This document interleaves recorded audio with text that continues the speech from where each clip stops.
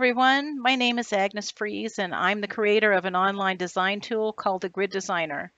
The Grid Designer is used to create color charts for multiple crafts that includes cross stitch, latch hook, crochet, knitting, corner to corner crochet, and basically any craft where you need to create a grid-based color chart. What I'm going to be showing in this video is how to draw an elephant that looks something like this.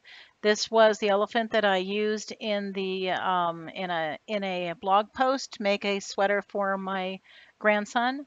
Um, I will leave uh, the link to the blog post in the description for this YouTube video. So just scroll down and look to get, to get that blog post. You can uh, scroll down and look at the description for the video in YouTube.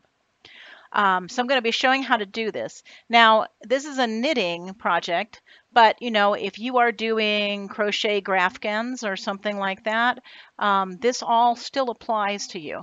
Um, I'm going to be showing how to how I create the project in here. Uh, apply my knitting gauge and then if you're doing crochet you'd apply a crochet gauge if you were doing this as a latch hook project you know, that you could this is the drawing part of this will be interesting to you too because um, I'm going to use some of the drawing tools uh, to do this. And I'm going to use the um, I'm going to use the shape tool. Um, I'm going to be using um, some freehand drawing, and I'm going to be using a lot of cutting and pasting. Um, and the reflection tool, which will, which is how I drew the symmetry in here. Take one ear, copy and paste it, and then you can, there's a flip inside of the paste tools that will allow you to flip it to the other side to make kind of something that looks symmetric. Um, so there'll be some, a lot of drawing and that kind of thing. I'm working with a, we'll be working with a palette, kind of modifying a palette to get the colors that I want in here, um, that kind of thing. So, so all of this really applies. It's not, you shouldn't think of it, oh, it's a knitting project, I'm not interested. You should think this is a drawing project and I want to see how I would draw something in the grid designer. And this, that's what this project is really showing. Okay, um, so when I'm going to draw something like this, I usually look for some examples. So what I did when I drew this uh, picture was I went to Google and I Googled uh, baby elephant drawings. And then and you, I clicked on the images section that came up. And, um, and then I've got all these baby elephants. So, um, and I think the ones that look the cutest, you know, are the ones that are sitting like this with the feet in the front and the and the legs out. Um, I really like that. So that's kind of what I was trying to draw, something like this or this one. And since, you know, I, I am not the, the greatest person for drawing things, I'm going to just do it symmetrically. I'm going to do it very um, you know, very symmetric and very simple. I'm going to keep my drawing as simple as I can. Um, and, you know, looking through here, there's quite a bit of variation, you know, in the way these are drawn. Here the, here the ears are kind of drooping down and, and these ones over here actually have a little bit of a point on them, uh, which is interesting. And, you know, I think of the them as being ears as being a little bit rounder than that. So I'll probably draw something more like, like more like this one maybe. This is kind of very symmetric, kind of like the kind of thing that I want to draw. Okay, so looking at some pictures though will give you some ideas, you know, and as you're trying to draw something yourself, you can you can look at some of the look at pictures online um, and you know kind of get some ideas about how you want your drawing to to go. Okay, so to get to the grid designer, the simplest way to do that is to go to freese-works.com, F-R-E-E-S-E dash W-O-R-K-S.com, and just click on the grid designer tab up at the top. That'll start up the grid designer for you. Okay, so now we're in the grid designer. Um, and I'm going to be creating a project. So I want to go to project menu and pick new project. Okay, it's going to be a knitting project. And as I said, it could be a crochet project. You could do exactly the same thing with that or with latch hook or cross stitch or anything else that you wanted to draw. So let's go and pick, we'll pick knitting though for this one. And um, I'm gonna, I've actually worked up a sample swatch, which is four inches by four inches. And it had 28 rows and 21 stitches, I believe. And I was using Bernat Baby Softee yarn. There's more about that in the blog post, um, size six needles. Um, so that was my that was my gauge. And as I worked out the pattern for my sweater, I decided that I that my available space on the front of this uh, little sweater is 58 rows by 63 63 columns. Okay, so 58 rows, 63 stitches basically across. That's that's my area. Now I don't have a a palette yet made in the grid designer for uh, Bernat Baby Softee yarn. I had a bunch of that left over from another project, mostly blue and white. And so that's what I'm going to use to make the sweater. Um, but I don't have, there's no palette in here for that particular yarn. So I'm going to just leave this uh, set to the default for right now. And I'm going to show you then what I'm going to do about that um, in a second. So we're going to click Create Project. And now we have a project. Okay, so we've got our 58 rows and 63 columns here. And and notice that the the um, the cells are kind of rectangular shaped because they that's that that's computed from the knitting gauge uh, that you put into that into that um, creation uh, dialog. Okay, so to deal with the palette now, I'm going to go look down here because after you after you create the project, you can change your palette at literally any time. Okay, and, and it will, there's a way for it to update your colors and that kind of thing if you want to switch from one palette to another. So I'm going to go down here and I'm going to pick this palette option from the project menu. And right now the Brights palette is what's selected. That's kind of like a simple little default project. Um, these ones that are marked general, these are kind of general groupings of colors uh, that might be useful for you know creating your creating your patterns, creating your own your own projects. Um, and there are also things that are actually collections of colors that are that come from you know physical yarn or floss. And in this case there are two embroidery flosses up here. One is the anchor stranded cotton one is the DMC embroidery floss. So these are colors that come out of you know the, the full list of those those uh, colors for floss. And likewise there are pre-cut rug yarns down here which provide lists of colors um, and there I have a bunch of medium weight worsted um, worsted weight yarns down here also, but I don't have any baby yarns yet in here. So I'm going to need to use one of these palettes. I can also go to custom and in custom you can insert colors. You can pick from a, a color chart um, and insert the colors that you want. That's one way of doing this. But I, I have this kind of I have this idea that I, it's, it's simpler for me to just look at the colors on the screen and pick something that I want out of an existing palette. So what I'm actually going to use is this anchor stranded cotton. When I do cross stitch, I'm usually using the DMC embroidery floss. So this is a palette that I don't normally use for uh, embroidery. So I'm going to pick this particular palette and then I'm going to say edit palette. Okay, and now what I want, this, these, both of these embroidery floss palettes have like 500 colors in them. So like everything that you possibly could pick is in here. What we're gonna, what we're gonna do is we're going to hide all the colors that we don't care about in this palette. And I'm gonna pick out the white and the blues that I want uh, out of this palette and just show just those colors. So that's my intention here. So I go in here, I edit this palette, and I click on this button down here that says hide all. Okay, and notice that all the little colors have H on them for hidden. So now all the colors in the palette have been hidden. Okay, and now I'm going to pick on the colors that I want. I need white. So I'm going to say click on this white and then I'm going to click on the show button. And then notice that the H goes away. So it's no longer hidden. That's a color that I will see after I when I start using the palette to draw things. So that white is picked. Then I want to pick a light blue. Let's pick something down here.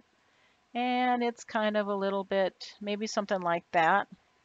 you can have your yarn in front of you while you're doing this, you know, so you can pick out a color that you that that looks right on your computer screen and kind of matches, you know, what you what it what the yarn looks like as it sits in front of you. Um, so we'll, we'll show that, okay, and then um, and then what it does is it takes the H off of that color and it puts it up here at the top. So if you see your color disappear from the list, it's not gone. It's up here at the top. So now I have the white and the light blue. And now we need kind of more of a medium bluey thing. It looks, and the yarn that I have has almost a little bit of a uh, green tint to it. I think it's, I think the color is called Blue Jeans um, in the uh, Baby Softee yarn. So let's pick that. And then we need a nice deep dark blue. Okay, and now what has happened is these colors that I picked are now up here at the top of the palette. The H's are off of those, and I've basically reduced the number of colors in this palette to just these four. Those are the only four that I want to see. I don't need to see the other 500, you know, in my list of colors to pick from. I just reduced it down to these four. So now I'm going to say Save Palette, and then I'm going to say Use Palette. Okay. Now, I have a choice of either opening a brand new project using this palette, or I could just convert the project that I have. There's really nothing drawn here. I could go and just say open new project, but I'm, I'm going to click convert current project. And then what it does when you convert the project is it all the colors that are used in the pattern, then you need to pick a new color to replace those, replace that color that was used. Now right now only the red is being used and that's my background color. I want white to be there is I'm going to be doing this elephant pattern on top of white. And that's the only color in the list because it's the only color that was used so far in um, what I have here because I have nothing drawn. Then I say convert pattern. It'll warn you a little bit that the current work is not saved, but that's not a problem because we're not, um, we don't have anything to save. So we'll just say go ahead with that. And then when I do it that way, um, the white that replaced the background color is actually set up here as the background color for the uh, for the project. Okay, so this is uh, uh, these two things up here show you the background color and the foreground color. The foreground color is generally the thing that you use to uh, draw with, and the background color is usually what you use to erase with. So that's the difference between those two colors and the tools then work differently. Certain tools will draw uh, background color, some tools will draw the foreground color. So um, there is a tools video that you might be interested um, that shows the drawing tools and explains a lot of this information and goes through all the drawing tools down here at the bottom. So you might be interested in that video also. Okay, so what we need to do is our foreground color is white. And if we started to draw with that, that wouldn't work very well because we'd be drawing white on white. So we need to change this to a different color. I'm going to go, let's do the dark blue. I'm going to start by drawing the outline the of the uh, of the elephant and then we'll fill in with uh, color later. So I'm just going to increase this a little bit. Um, there's a zoom and a zoom out button up here that you can use to size your size your um, project so that you can see what see uh, see it well. Okay, so I'm just going to go down here and click on my drawing tool. And then I'm going to try and draw an elephant head. So I'm just going to do this freehand drawing. Maybe I'll just go all the way around here and see what I come up with. Um, hmm, not sure I like either side. I probably like this side best, but I don't like this little bump over here. So um, one of the things you can do when you're on the um, on a desktop machine that has a regular mouse with a left and a right mouse button, then you can use those buttons separately to draw and erase. So if you have a left and a right mouse button, then the left mouse button will draw with the foreground color and the right mouse button will draw with the background color or effectively it will erase. So I can go in here and I can I can click on this with the right mouse button, click there, click here, and that will erase that side like that. And then left mouse button will draw. So um, little that looks a little flat. Maybe let's just take off on some of these edges here.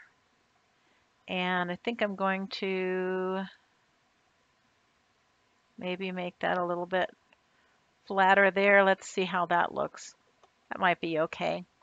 Okay, so um, so I didn't kind of like this side either because it had kind of that lump over there. So what I'm going to do now is just make a symmetric drawing out of this. So I'm going to be selecting the left side of this and then I'm going to copy and paste it and then flip it while it's in the paste buffer to the other side and then put put this, I'm going to reflect this left side over to the right side to draw the other side of the elephant and have it be exactly the same. So what I can do here is I can pick the selection rectangle and I'm going to go over here and pick the left side of the head like that. Not sure whether I want to take that one or that one. Okay, so I do that, select it with a rectangle, and then I am just going to do a copy of that and then a paste of that. So now I have a copy of my left side and then I'm going to click on the flip uh, selection horizontally. That's going to reflect it over to the right side. And then I can drag this over here. Okay, and that that looks pretty good for me. I think that looks good. Now, again, there's a drawing tools video that you can watch that will tell you more about all of this stuff. Um, but there's two ways once you're in the in the paste area here. There's a paste, there are paste tools down here. And there's two ways to apply this to the grid. You can click on the blue button, which will apply it once, and then it will return you to the main editor buttons down here. Um, or you can click on stamp if you want to make a copy of something multiple times on your design, then the stamp tool will do that for you. You can it'll it'll keep you it'll you'll you'll stay here with the, your, your paste item and you can keep stamping it in different places and applying it to grid. But we're only going to do this once, so I'm going to just click on the apply to grid. Okay, that looks pretty good. That that's not a bad shape.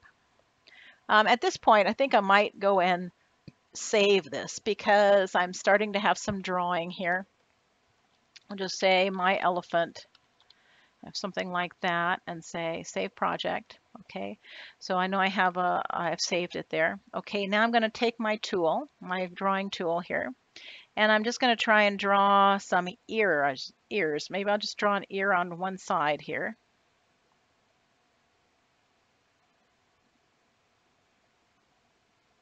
Maybe something like that. Um, again, I, I can just right click here to erase these. Now, if you're on a tablet or an iPhone, then you have to click on the erase button to get the erase tool and then you can you know press with your finger on the screen to erase sections. But if you're on uh, uh, you know a regular machine where you've got uh, left and right uh, mouse buttons then you can just erase with the right mouse button which is what I'm doing here. So I'm to take out some of those edges there Makes it look a little bit rounder without that. Maybe even that too. Okay, now that, that ear looks pretty much okay to me. So I'm going to go down here, pick my select rectangle tool again, and I'm going to reflect this over to the other side also. So I'm going to pick up my ear here, put the uh, selection rectangle around it, then I'm going to say copy, and I'm going to say paste. And then I'm going to pick the reflect this uh, reflection tool here, flip the selection horizontally. And then we're going to come over here and we want to put this in the same position. That looks like it's right. There's two there, two there, and one down here. So that looks like that's in the right place. And then I'm going to click apply again to apply that to the grid. Okay, and then we'll just do a quick save to make sure that that's, that's saved. Okay. Now, let's go in here and do the drawing of the trunk. I think that would be the next piece to draw. So looking back at my pictures here that I Googled, um, you notice that the trunk, usually there's a line that basically comes kind of out of the lower middle of the face. That's the same down here with this one. Um, and this one here is that way. Sometimes it's not. This one doesn't do that. It just kind of draws the whole jawline together. But I think it looks better if it comes out. And that's the way most of these pictures are drawn. So there's a little bit of a line there on each side, on each side that we need to draw that's going to start the trunk coming out. Okay, so let's do that. Let's pick our tool here. Oh, oh, and maybe I'll put the, let me put some eyes in here real quick first. So I have kind of a idea for where the face is going. Let's see. Um, maybe something like that with some eyebrows. That's not the right place for that. There, more like that. So they're fairly wide apart. Okay, and then let's see what we can do here. Let's start our trunk out and see what happens. So we're going to go down here and then kind of loop it around and maybe end up in about the same place. So we have kind of a smiley. This this little you know little thing here I think is important just because it makes it look a little a little smilier um, you know than it would normally. And we could even do it could do it like that, but not sure which way it looks better. But anyway, that's generally kind of a trunk there. Maybe got a little too much. Clear out some of these extra little things down here. Maybe streamline it a little bit. And then this, we wouldn't see that line there through the trunk, so that would go away.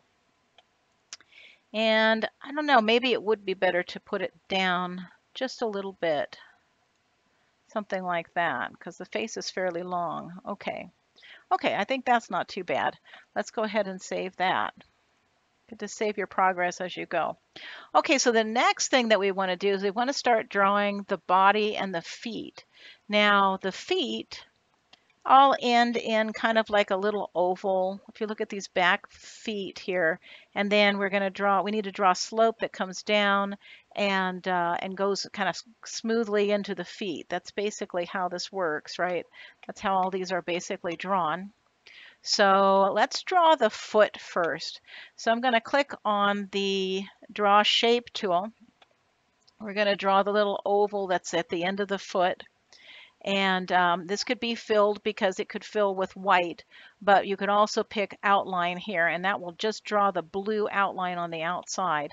So let's pick that oval and say use shape. Okay. And then the question is how big should this be? Maybe like that. I'm not sure exactly. Let's, uh, we're going to have two of these. Let's stamp one there. So I click the stamp button this time and that gives me the uh, another copy of it to paste and move around. So I've got that kind of just over here. If I slide it over here, I think it's about right there because there's this line here where the single one comes down on the left side of this pair of two. And this one here comes down on the left side of that pair of two.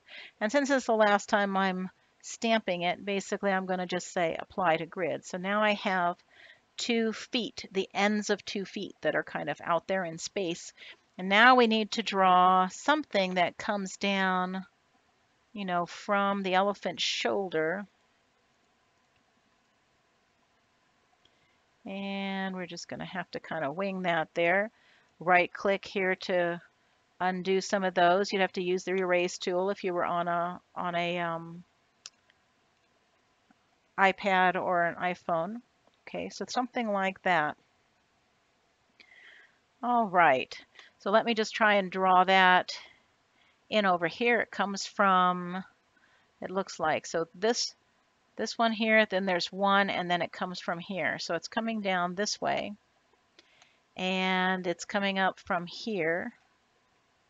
There are three diagonal ones like that, and then it goes behind the trunk there. Okay, so now we've got two feet kind of on either side.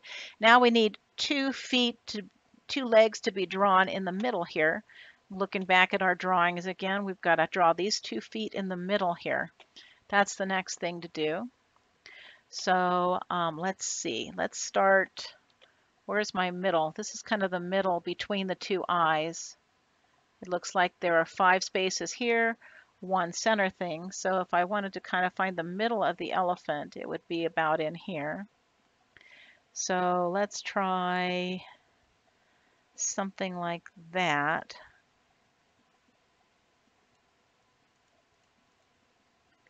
That's probably not far enough down. Maybe something like that would work. Let's see.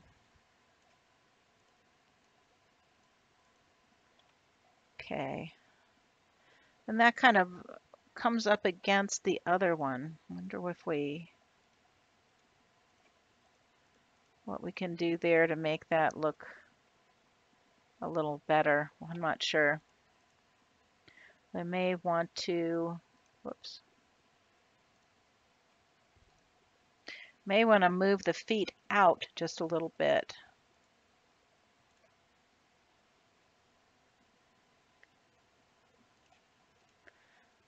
That looks the same on both sides. But we've got kind of this heavy line here because both of these lines come together. So I think it might be a good idea to just kind of grab the foot, move it out one, move it out one on the other side and leave ourselves a little bit of space there. So I'm just going to use my selection tool again. And I'm going to grab this here. And this time I want to, um, I guess I could could use copy, but I'm going to show you that you can also use cut. Cut will basically remove it from the picture first.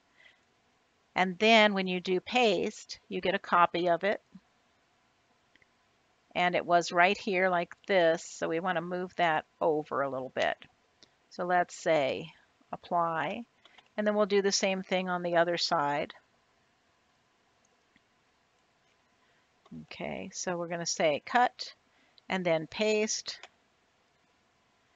and it was right here. We want to move it over one and then say apply. Okay, so now let's go back to my drawing tool. Let's erase that and let's see. Let's put another, we want to put another something in here to kind of connect the foot. And then these legs look to me like they could be a little bit lower. So um, let's select them and move them down one. Now there are, there's generally most things we can do with the selection rectangle, but there are other ways of selecting things too. There is a single color motif selection, which is what I'm going to use here. That will select everything that's connected of a single color, whatever color you click on. So I'm going to say select the single color there's a, the first time you use it, it'll come up with a little hint that tells you what to do. And basically, I have these, these legs are kind of out here. They're floating in space. They're connected to each other, but they're not connected to the rest of the elephant. So I can use that tool to select them. I could have actually probably got the rectangle around that, but I just wanted to show you that you can also select things in this way. So we can say, I'm going to cut that, and then I'm going to paste it and then I want to just move it down a bit.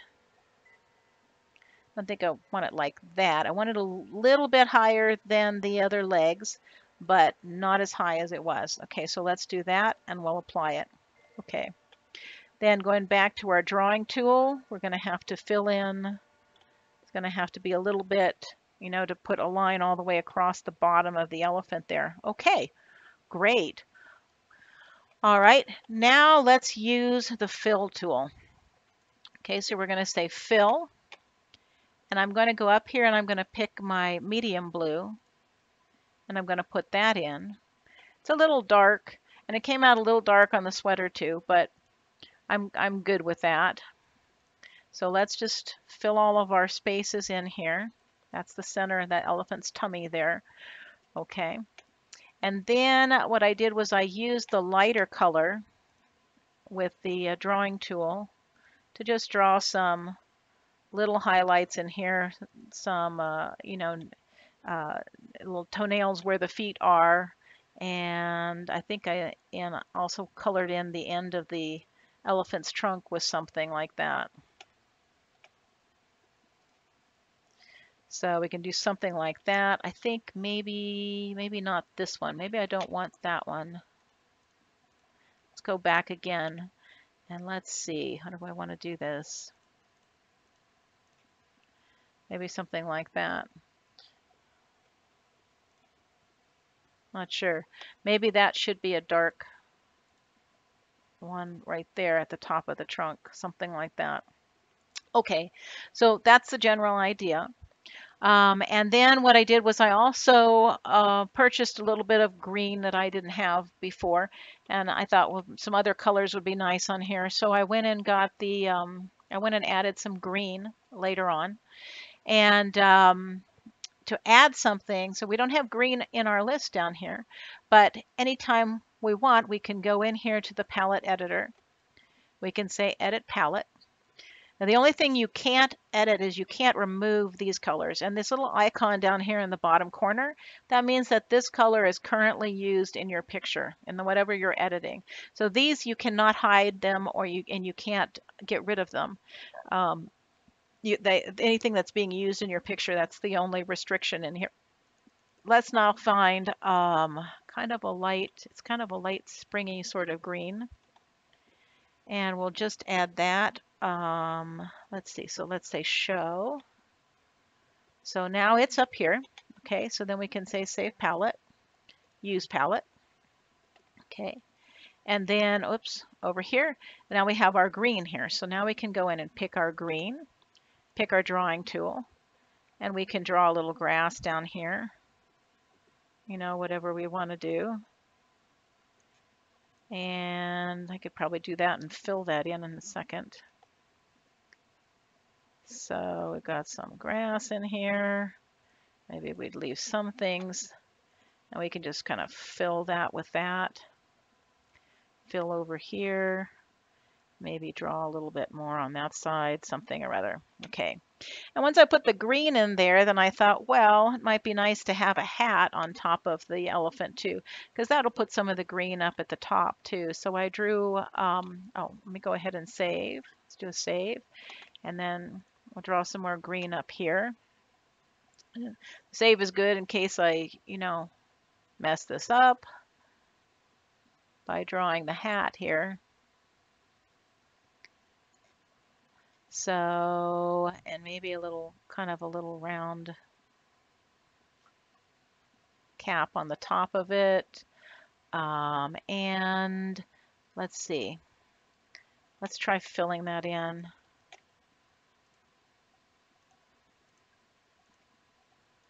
And then I think we need the blue tool.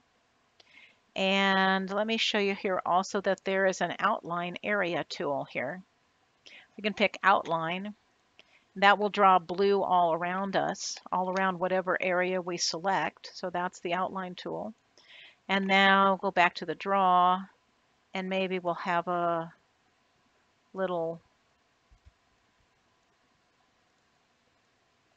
section. So it's kind of like a cap with a little hat under it. And maybe that should have been down a little bit lower maybe.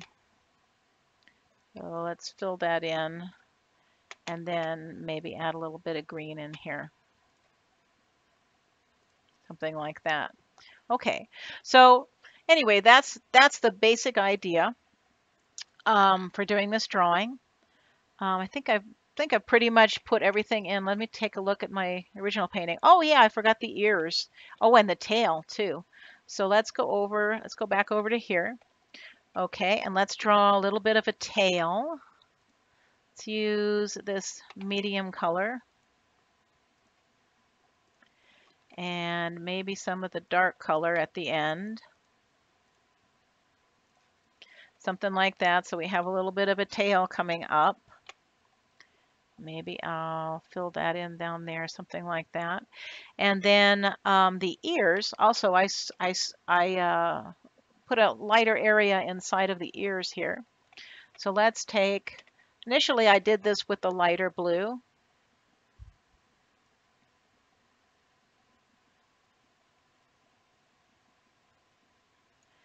And let's see, I want to change this. I want to have some of this darker blue here. So what I can do is I can set the background color temporarily to this other blue.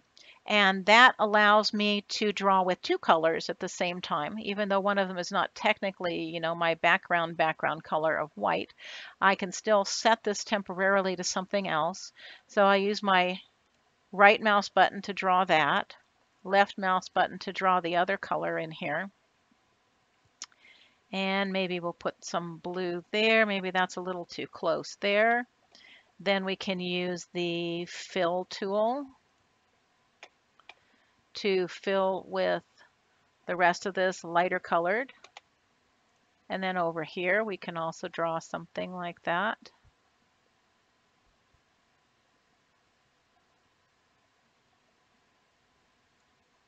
And again, probably it's useful to have set the, um, the other color that I'm drawing against as my background color temporarily. I can then set that back to white um, when I'm done with that. And then I can fill on the other side. Now when I actually did do this, I did this with duplicate stitch over the knitting and it was a little bit, it makes it, it makes the knitting fairly heavy and so I did, I ended up with the uh, using white in here instead of just letting the background color show through because it reduced the amount of duplicate stitching there. So I ended up with white in that area instead of the light blue, but I drew it that way initially. Um, so I could fill it with, and also the fill tool, I can do the background color with a right mouse click. Okay, so there we go. So that's, that looks like about it.